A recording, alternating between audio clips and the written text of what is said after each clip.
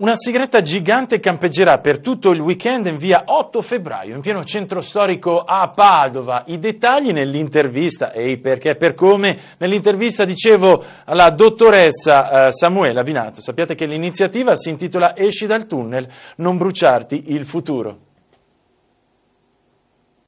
Dottoressa Samuela Binato, responsabile eh, Valce per il Veneto.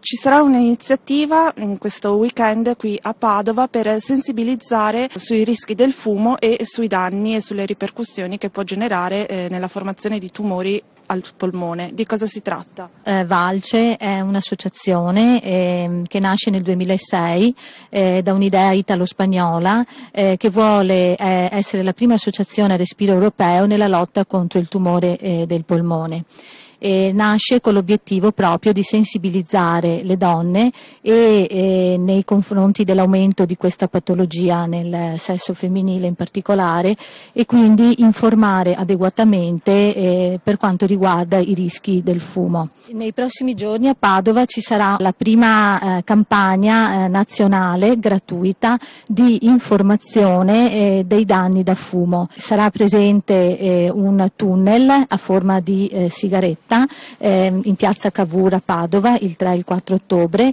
Eh, all'interno del tunnel eh, il, ehm, eh, si potrà eh, sperimentare le problematiche e mh, avere adeguate informazioni sui danni eh, da fumo. Inoltre al termine ehm, ci sarà la possibilità di eseguire una spirometria gratuita, un esame che è in grado di rilevare la capacità respiratoria.